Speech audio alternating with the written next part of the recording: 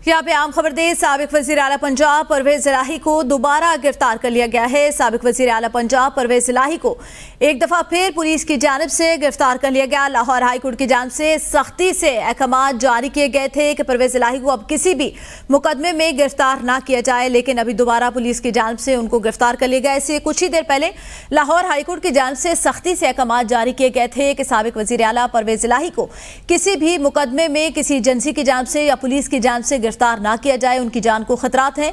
इसलिए अदालती जो अमला था, वो परवेज इलाही को घर छोड़ने भी गया था। इससे पहले एफआईए और अदालती अमले के दरमियान हाथापाई भी हुई थी। एफआईए के अमले का बताना था कि परवेज इलाही को गिरफ़्तार करने के लिए आए जबकि इसके साथ साथ आपको बताएँ कि इस्लामाबाद की पुलिस एसपी की सरबराही में लाहौर हाईकोर्ट के बाहर मौजूद थी, जो कि परवेज इलाही को गिरफ़्तार करना चाहती थी। सबक वज़ीर अला पंजाब चौधरी परवेज इलाही को दोबारा गिरफ़्तार कर लिया गया है। आपको खबर दें, लाहौर हाईकोर्ट की जाँच से अहकाम जारी किए गए थे कि सबक वजी अला पंजाब को किसी भी मुकदमे में पुलिस या एजेंसी की जाँच से गिरफ़्तार न किया जाए।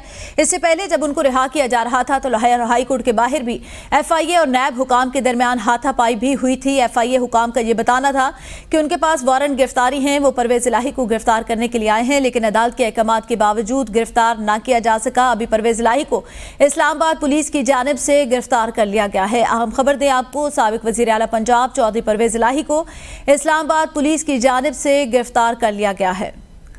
लाहौर हाईकोर्ट के अहकाम के बावजूद सबक वजी अला पंजाब चौधरी परवेज इलाही को दोबारा इस्लामाबाद पुलिस की जानब से गिरफ़्तार कर लिया गया है।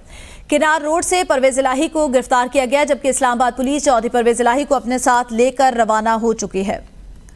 इससे पहले लाहौर हाईकोर्ट के बाद इस्लामाबाद पुलिस जो है वो एसपी हसन की सरबराही में वहाँ पर मौजूद थी, लेकिन अदालती अहकाम होने के बावजूद उनको किनार रोड से गिरफ़्तार कर लिया गया है और इस्लामाबाद पुलिस उन्हें गिरफ़्तार करके इस्लामाबाद की जानब रवा दवा है इस वक्त। आपको बताएँ, सबक वजी अला पंजाब चौधरी परवेज इलाही को इस्लामाबाद पुलिस की जानब से किनार रोड से गिरफ़्तार किया गया। सच्चा हमारे साथ मौजूद है। जी असद, बताइएगा।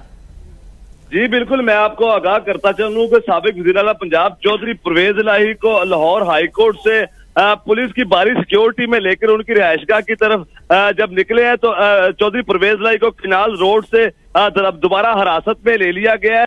अभी तक मुकदमे की कोई तस्वीर सामने ना आ पाई है कि चौधरी परवेज लाई को अब किस मुकदमे में गिरफ़्तार किया गया, लेकिन चौधरी परवेज लाई की जो है वो गिरफ्तारी वो कन्फर्म कर दी गई है। चौधरी परवेज लाई जो है वो आज ही नैब ने उनको पेश किया था, लाहौर हाईकोर्ट में, और जस्टिस अमजद रफीक ने उनको तमाम मुकदमात से फौरी रिहाई का जो है हुक्म दिया था और तफसीली फैसला जो है दो सफात पर मुश्तमिल फैसला, चौधरी परवेज राय के वकला को चौधरी परवेज राय को थमा दिया गया था और एस एस पी ऑपरेशन को भी कह दिया गया था कि कोई एजेंसी, कोई इदारा चौधरी परवेज लाई को अब गिरफ़्तार ना करेगा।